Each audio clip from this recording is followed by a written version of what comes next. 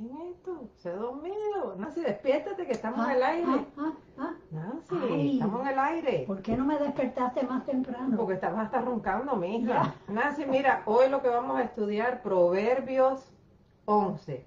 Ok, Cuidado con lo que dices sí. y cuidado con lo que haces, Sí, Nancy. porque aunque la gente no te oigan y la gente no te vean, ¿quién te ve y quién te oye? Papá Dios. Esto, amigos, hola, bienvenidos a otro día, otro lunes 21 de agosto del Ujú. 2023. Aquí con ustedes sus amigas Vivian y Nancy con otro libro de proverbios. Ya hoy estamos en el capítulo 11, Once. ya casi estamos a la mitad. Yo creo que de aquí a diciembre acabamos. Yo, yo, yo creo. Eh, y qué bueno con los comentarios de ustedes, los emails que recibo a través de Radio Cantares. Eh, tengo un pelo atravesado aquí, chica. Eh, el email de nosotros, para que no lo conozca, Radio Cantares 1001 a gmail.com. Ujú. Ahí nos pueden escribir o pueden dejar sus comentarios aquí también. Eh, nos encanta saber de ustedes, lo- los programas que también tenemos puestos en nuestro canal de. YouTube, los comentarios, yo los leo todo, me encanta, me encanta, me encanta leer los comentarios. Y bueno, siempre aprendemos, ¿verdad? Porque Sí. estamos aquí para aprender. Una de las cosas que nosotros siempre oramos antes de, de comenzar es que Dios nos hable que. Dios nos hable, Sí. que nos, que nos corrija, que nos enseña, porque necesitamos esta sabiduría divina. Y me encanta el título de este Proverbios. Cuidado con lo que haces y cuidadito con lo que dices, es el título. Y vamos Sí. para allá. Si tienen sus Biblias, nos encantaría que leyeran con nosotros. Hoy voy a leer ah, de una traducción del el lenguaje actual, porque me gustó más esta traducción, explica un poquito mejor. Y como dice, es traducción del lenguaje actual, el lenguaje que usamos hoy en día. Allá vamos. Estoy ready. ok. Dios rechaza a los tramposos, Mm. pero acepta a los honrados. Fíjate, Nancy, yo no sé si tú te has dado cuenta que casi todo el libro de Proverbios es dual. Te da Sí. las dos caras. Sí, Si haces esto, te va a pasar esto bueno. Pero si haces esto malo, te va a pasar esto malo. O sea, me encanta el libro de Proverbios porque son consejos corticos. sí. Te lo tira de las dos formas. Dios rechaza a los tramposos. No hay que dar mucha explicación para eso. Pero acepta a los honrados. Te da para escoger. Te da la opción. Sí. Si tú eres un tramposo, y tramposo puede ser tantas cosas, pero uno sabe cuando uno está haciendo trampa. Sí. Dios los rechaza. Pero acepta a los honrados. Hacer todo con honradez, Sí. inclusive los taxes. ¡Ah! ¡Qué confirmación más grande! ¡Wow! ¡Qué Yo- confirmación más espérate! Nancy, vamos a ser honestas. Yo creo que todos hemos metido nuestra cosita por ahí, ¿verdad? Pero cuando llegamos a los caminos de Dios, ya no podemos hacer No. ciertas cosas que hacíamos antes. Trampa es trampa, donde quiera que sea. Número dos, el orgulloso termina en la vergüenza y el humilde llega a ser sabio. ¿Quién es el humilde? Esa persona que está dispuesta a ser corregida, a que se le enseñe, a que se le diga, oye, tú estás mal, porque mira lo que dice la palabra, y esa persona lo acepte con esa humildad. No que diga, ah, no, pues yo siempre hice las cosas así, y a mí me la enseñaron así, y mi religión me la enseñó así. La religión es una cosa y la palabra de. Dios es otra. La religión a veces nos ha, por la religión ha habido guerras, ha habido tantas divisiones, tenemos que ir a la palabra de Dios. Número tres, al bueno lo guía la justicia, al traidor lo destruye la hipocresía. Cuando te enfrentes al gran juez, Dios, de nada te servirán las riquezas. Solo haciendo lo que es justo te librarás de la muerte. No solo de la muerte física quizás, sino de la muerte espiritual también. Sí. Número 5. Cuando somos honrados, todo en la vida es más fácil. Pero a los malvados su propia maldad los destruye. ¿Cuál es el- la definición de maldad? Si usted no conoce la Biblia, si usted no sabe lo que Dios le llama bueno y lo que Dios le llama malo, que debería saberlo, bueno, simplemente lo que no quiere que te hagan a ti, no se lo hagas a nadie. Simple. Sí, porque todo es una cosecha. Tú recibes cosecha de todo lo que hace, hasta lo que no hace, recibe cosecha. Me encanta el libro de Gálatas donde dice, Dios no puede ser burlado porque todo lo que el hombre siembre, eso segará. Si usted quiere que le brinden amor, de amor. Si usted dice, yo no tengo amigos, nadie me quiere, sea usted amigo. Si a usted nadie lo llama, llame usted. Si usted cuando está enfermo, nadie viene a visitarlo, visite usted los enfermos, porque esta, esta promesa es de Dios. Todo lo que usted haga, ya sea bueno o malo, nos regresa de alguna forma. Número 6. Cuando somos honrados, estamos a salvo del mal, pero a los traidores su ambición los domina. La ambición de querer ser rico, de querer ser dinero. Dice, eso domina a las personas. Número 7. Cuando mueren los malvados, mueren con ellos su esperanza y sus sueños de grandeza. Hmm. A los malvados les cae la desgracia, pero los buenos quedan a salvo. ¿Ves la diferencia? Y como siempre decimos, Dios nos da esta enseñanza, pero nosotros tenemos que escoger qué camino vamos a seguir. 9. Los chismes de los malvados destruyen a sus semejantes. Cuidado con lo que dices, cuidado con el chisme, cuidado con lo que estás hablando. Pero a la gente honrada la salva la sabiduría. Tengamos mucho cuidado con lo, con lo que estamos repitiendo, inclusive cuando estamos repitiendo algo que no nos consta, que no, nos, no podemos verificar si es verdad o no, porque alguien nos los dice y nosotros vamos y los repetimos. Hay otra cosa también que en el nombre de oración estamos hablando chisme. Exacto. ¿Te enteraste lo que le pasó a fulanita en la iglesia? vamos a orar Vamos a orar, pero mira lo que hizo. Y con ese pretexto. Número 11. La presencia de los buenos trae bienestar a la ciudad. La presencia de los malvados solo le trae desgracias. El que es imprudente critica a su amigo. El que piensa lo que dice sabe cuándo guardar silencio. Ay, qué difícil es eso, Dios mío. Pero el que es imprudente no puede ser buen amigo. No, no, por eso lo dice. El que es imprudente critica a su amigo. Esa es la el, lado de la moneda. El que piensa lo que dice sabe cuándo guardar silencio. Es el arte de guardar silencio.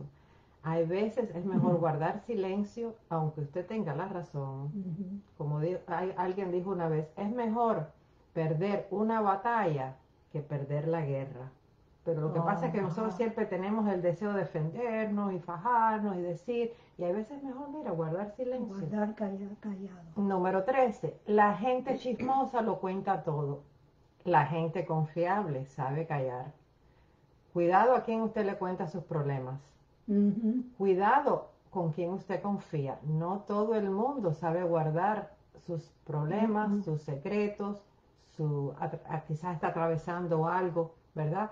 So, escuche bien esto. La gente chismosa todo lo cuenta. La gente confiable sabe callar. ¿Cuá- ¿Cómo tú sabes cuál es una gente chismosa? La que te está llamando a ti contándote la vida de todos los demás, hablándote Sí. mal de los demás. Si cuenta lo demás, lo, lo, lo de la persona además, va a contar lo tuyo también. Exactamente, exactamente. No tiene control sobre su no, propia lengua. no puede controlarse. Número 14. Sin buenos gobernantes, la nación fracasa. Oh, Ay, Padre, qué gran verdad. la- Con muchos consejeros puede salvarse. Hasta el presidente de la nación tiene que rodearse, si Sí. es sabio, de muchos consejeros, como dice aquí, puede salvarse. Si te comprometes a pagar las deudas de un desconocido, Oh, te metes en grandes problemas. Evita esos compromisos y vivirás tranquilo. Hay una escritura que dice que hasta la misma cama tuya se te, te quitarán. Escuche bien esto, no lo estoy diciendo yo. Si te comprometes a pagar las deudas de un desconocido, no te está hablando de tu hermano en Cristo, de tu familia, de tu mamá y de tu papá, de un desconocido, te metes en grandes problemas. Evita esos compromisos y vivirás tranquilo. Tú le prestas tu crédito a una persona que acabas de conocer, la persona se va del pueblo y el bill viene para ti, amigo, amiga, que me escuches. No lo hagas. La mujer bondadosa gana respeto. La mujer bondadosa gana respeto. Y el hombre emprendedor gana riquezas. Un hombre emprendedor, un hombre que es echado para adelante, un hombre que trabaja, un hombre que está siempre buscando la vida de cómo proveer a su familia. Gana riquezas, pero siempre acuérdese honradamente. Compadécete de los demás y te harás bien a ti mismo. Pero si le haces daño, el daño te lo harás tú. Consecuencia. Consecuencia, semilla que tú misma te vas a tener que comer. Las ganancias del malvado no son más que una mentira. La verdadera ganancia consiste en hacer el bien. Mira lo que Dios le llama la verdadera ganancia, en hacer el bien. ¿Por qué? Porque son semillas que estás sembrando y tú eres el único que vas a cosechar y comer de esa semilla, porque cuando necesites ayuda la vas a tener. Dios se va a encargar Sí. de que la tengas. Quizás no de la persona que tú ayudaste, pero de que te manda otra persona, te la manda. Sí. Dios no soporta a los malvados, pues piensan solo en la maldad. En cambio, a la gente honrada le muestra su bondad. Esa persona que siempre está maquinando cómo hacer el mal, cómo destruir, eh, cómo romper una relación, por los motivos que sean. Dice Dios, estas personas solo piensan en la maldad. Dios no lo soporta. Dios no lo soporta. Usted sabe lo que es pensar que Dios no me soporte a mí porque yo estoy pensando en el mal, hacer el mal. Entonces, en cambio, a la gente honrada le muestra su bondad. Número 21. Una cosa es segura. Segura, póngale el cuño. Los malvados no quedarán sin castigo, pero la gente buena se salvará. Por eso mismo es que el, el, el, ¿cómo se dice? Cuando una persona le hace mal a uno, no se preocupe en vengarse, no se preocupe en hacerle el mal. Dios se encargará de todo en el tiempo de Dios, porque Dios Sí. es un Dios de amor, sí, pero Dios también es un Dios de justicia. Y lo voy a leer otra vez. Una cosa es segura. Cuando te dices segura, ponle el cuño. Los malvados no quedarán sin castigo, pero la gente buena se salvará. Promesa del Señor. La mujer bella pero tonta es como anillo de oro en la trompa de un cerdo. Mm. Yo creo que ahí no hay que explicar más nada. Mucha belleza por fuera, mucha preocupación como lucen por fuera, pero por dentro no se preocupan de, ser bellas espiritualmente, en otras palabras. Hoy en día vemos esto mucho, por desgracia, eh, tantas cosas que nos vende la televisión y el eh, eh, eh, Facebook de mujeres perfectas, bellas, el pelo, la ropa, el maquillaje, todo perfecto. Y, y las jovencitas se miran y quieren parecerse a ella. Y están ven- vendiéndole una idea equivocada. Pero fíjate, la mujer bella pero tonta. Tú puedes ser bella pero sabia. Eso sería lo perfecto. Bella pero sabia. Pero aquí dice, la mujer bella pero tonta es como anillo de oro en la trompa de un cerdo. ¿De qué sirve? En otras palabras. Los deseos de los buenos siempre traen bendición. Los deseos de los malos solo traen destrucción. Aquí está otra vez diciendo lo que le va a suceder a las personas malas. Quienes son generosos reciben en abundancia. Quienes ni sus deudas pagan acaban en la miseria. Esa gente que piden, piden, piden dinero, cogen a tarjetas de crédito después no pagan nada. O prestan, le piden dinero prestado a las amistades, después no pagan. Dice, acaban en la miseria. El que es generoso progresa. El que siembra también cosecha. Porque desde, desde que el mundo es mundo, dice la palabra, hay tiempo de sembrar y tiempo de cegar. Sí. Lo vemos en lo físico. Usted siembra una semilla y sale lo que está plantando. En el mundo espiritual es igual. Todo lo que sembramos vamos a cosechar. Lo que yo siembre no va a ir para ella. Por mucho que yo ore, por mucho que yo ayune, por mucho que yo ruegue, por muchas velas que enciendan, va a ir para ella.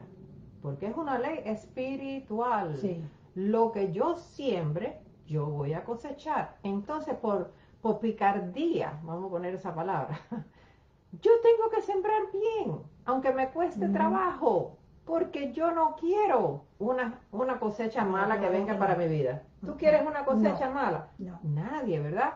Entonces, hay que sembrar bien, hay que levantarnos y decir, Dios mío, ayúdame hoy a sembrar una buena semilla.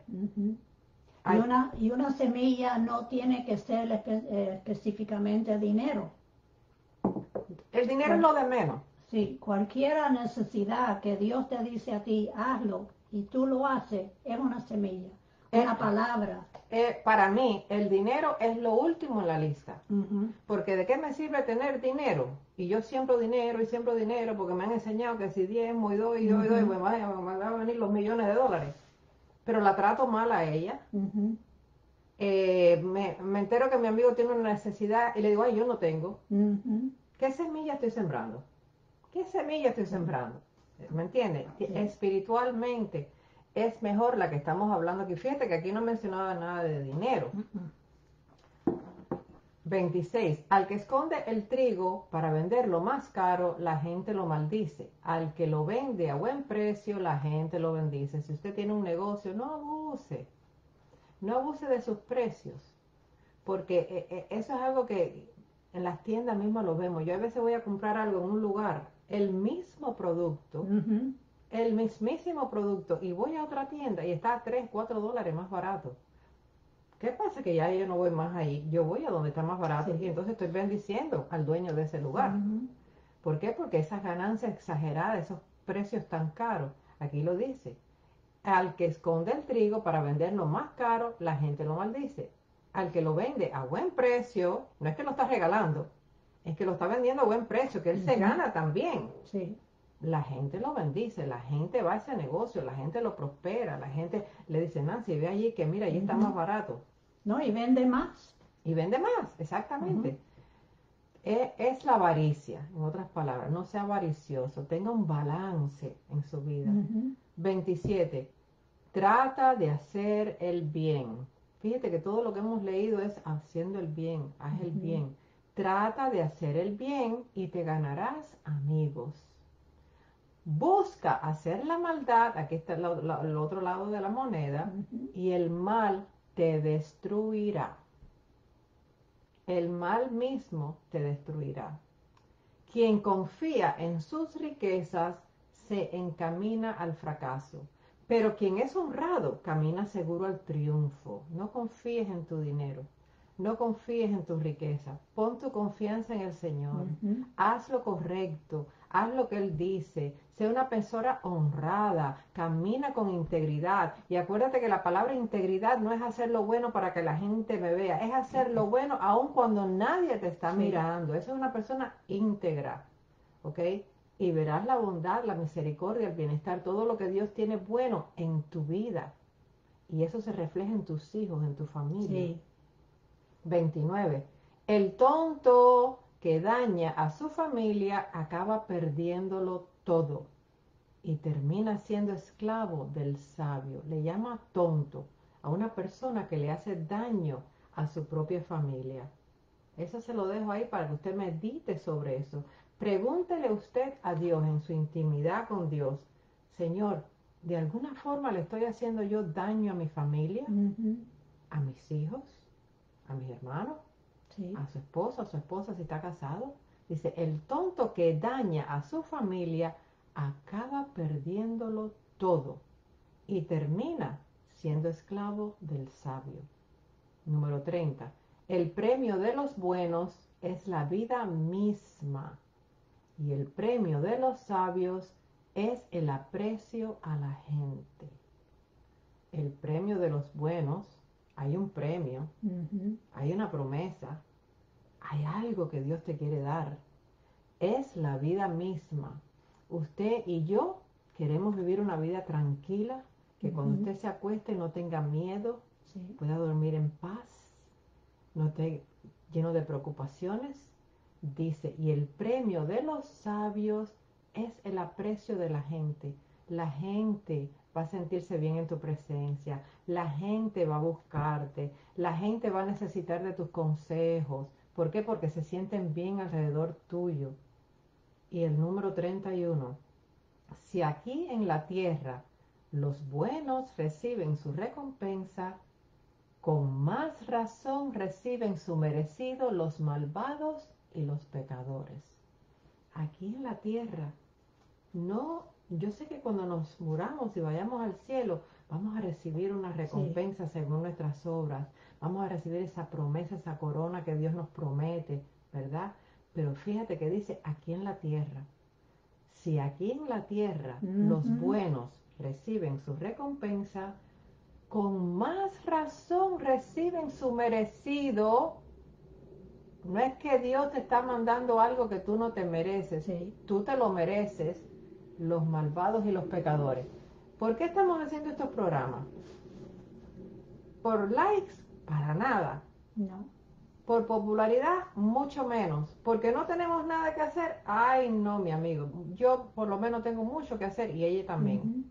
Porque queremos compartir estas perlas de sabiduría con todos ustedes, con todos ustedes nuestros amigos, con todos ustedes los que nos están escuchando. ¿Por qué? Porque esto no es palabra de nosotros, esto es palabra de Dios. Estos son, estas son palabras que fueron escritas miles, siglos de años atrás, que todavía aplican a nuestras vidas, porque la ley espiritual sigue siendo efectiva. Dios sigue siendo el mismo. Sí. Dios no cambia, el ser humano cambia, las leyes cambian, los gobiernos cambian, pero nuestra fe, nuestra mirada tiene que estar puesta en Dios, en sus palabras. Y como yo quiero que cosas buenas vengan a mi vida, y ella quiere lo mismo, Sí. pues hay que aplicar lo que todos estos consejos que hemos oído aquí en Proverbios 31. No, y es mandato de Dios en el libro de Hechos, capítulo 1, donde él dice, ve y predica. ¿verdad? Exacto. Es lo que estamos haciendo. Exacto. Usted y yo, que somos de la familia de Dios, que hemos recibido el regalo de la salvación, Sí. ¿ok? Que, que hemos puesto a Jesucristo como Señor de nuestras vidas, tenemos un compromiso con Él. Porque yo pudiera leer esto en mi casa y ella también y ya, pero no es compartir, Sí. ir y predicar este evangelio a todo el mundo, a todas las naciones, con, lo, con la plataforma que usted le ha dado, Sí. con la plataforma, perdón, que Dios le ha dado. Sí. Usted tiene Facebook, pues use Facebook. Alguien lo va a escuchar.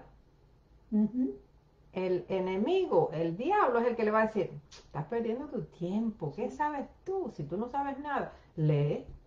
Mira, nosotros estamos leyendo. Leyendo. Yo no estoy inventando nada, ni estoy dando, yo estoy leyendo. Y usted puede hacer lo mismo, porque hay alguien que necesita escuchar de esto. Nosotros quisiéramos llegar a todo el mundo, pero no podemos, estamos limitados. Por eso lo hacemos, para que usted comparta, para que usted no se quede callado. Lo que Dios le ha dado, la Biblia dice, lo que Sí. Dios te ha dado de gratis, dadlo de gratis. No, y lo lindo es, Vivian, es que uno está estudiando y Dios empieza a hablarlo a uno. Amén, Él- amén. Él te pone, y hay veces que yo escribo mi lección, estudio, después a los pocos días lo vuelvo otra vez y me da algo nuevo. La Biblia es un libro vivo, Sí, vivo. Usted lee un versículo hoy y de aquí, como dice, y de aquí a un tiempo vuelve a leerlo y Sí. recibe otra cosa porque está Sí. viva la palabra de Dios. Mira quién nos está saludando, Don Besa. Don Besa, Nuestro hola. amiguito Don Besa, que Besa, lo queremos Besa. tanto. le digo yo, don, besa, besa. Besa, me, me alegro mucho. Gracias por estar aquí con nosotros. Mira, mi amiguita Mónica Cuervo, mi hermanita de la iglesia, de la iglesia Centro Evangélico Vida Nueva de nuestro pastor José. Manuel Sierra. ¿Cómo están por Aleluya, allá? Miss Mónica, un besito para ti. Mayelín Delgado. Mayelín, mi amiguita Mayelín, Sí. te quiero. Un besote grande para ti. Ella, esa Mayelín, yo no sé por qué no estás casada. Mayelín, Porque eres bella. Nancy te está buscando marido para casarte, Nancy, Nancy está tremenda. Pregúntale por qué no lo busca ella primero, no, No, para ya, ella. ya yo probé, ya no. Muchas gracias, muchas gracias a todos, los amamos mucho. Y bueno, ya ustedes saben, amigos, vuelvan a leer este capítulo. Cuando usted tenga tiempo esta noche, vuelva a leerlo, Proverbios 11. Medite sobre Sí. esta palabra y pregúntele a Dios, Señor, enséñame dónde estoy mal. Dios te va a enseñar dónde Sí. estás mal. Pero todo es lo, para todos, para todos, es de la misma forma. Nosotros somos los que tenemos que aceptarlo. Dios nunca se va a imponer en No. nosotros ni nos va a obligar. Nosotros tenemos que aceptarlo y nosotros tenemos que decir, yo voy a hacer esto porque yo sé que Dios quiere lo mejor para mí. Es una decisión que todos tenemos que tomar, personal. No porque tu papá ni tu mamá, no. Esto es algo personal Sí. entre usted y nuestro Señor y Salvador Jesús. Amén. Y él lo dice en la palabra, he puesto delante de ti la vida y el bien, la muerte y la maldad. Escoge Pero ahora. Escoge ahora, sí, Nosotros escogemos, amigos míos. sí. Bueno, y esto es todo por hoy. Hasta el lunes que viene regresamos. Ahora Nancy lo va a hacer en inglés. Si quiere seguir aquí con nosotros, pues quédese en sintonía, que Nancy tiene mucho que decir. Y lo bueno de esto Sí. es que ella dice o algo diferente completamente. No es que ella va a repetir lo que yo dije No. en inglés, no. Yo aprendo de ella porque ella sale, me dice, dice cosas que digo, wow, tú sabes, tienes razón. O sea, es otra, aunque estamos leyendo lo mismo, pero es diferente. Sí, Así que los invitamos a que se queden. Que tengan un día bendecido. Oramos que la presencia de Dios los Sí. acompañe donde quiera que vayan. Que estén siempre protegidos sí, por ese manto celestial como Salmo 91. Que te proteja de que tu pie tropiece con piedra alguna. y que sienta la presencia del Señor alrededor suyo. Aleluya. Qué lindo, qué lindo. Sentir esa presencia día y noche. No hay nada como No. tener una relación con Dios. De veras que sí. Yo quisiera que todo el mundo, que todo el mundo que no es cristiano, que no le ha entregado su vida, que no le ha dicho, que, le ha dicho adiós a todo lo demás y que ponga su fe solamente en Jesús, pudieran por un momento sentir Sí, lo que nosotros estamos tratando de transmitirle a usted. sí, Lo que Dios quiere darle para usted, lo que Dios quiere hacer en su vida, ni usted misma tiene idea Mm, mm. del cambio tan radical que puede venir a su vida si usted solamente le permite a Él entrar en su vida y hacer el cambio. es verdad. Acuérdate que si lo pudieras hacer solo, ya lo hubieras hecho. Ujú. Y si tú quieres que tu vida siga de la misma forma, pues sigue creyendo de la misma forma. Pero si tú necesitas ese cambio, si tú sabes que tú no eres feliz, si tú sabes que tu vida es un desastre, pues ¿qué esperas? No, y tampoco, ay, yo soy joven, tengo tiempo. Uno no sabe. Y si no sabes, comunícate con nosotros que nosotros te vamos a enseñar cómo se hace. Sí, Amén. Es bien amén. fácil. Amigos, los amamos y esto es todo por hoy. Volvemos en unos minutos. Shalom. Bye bye.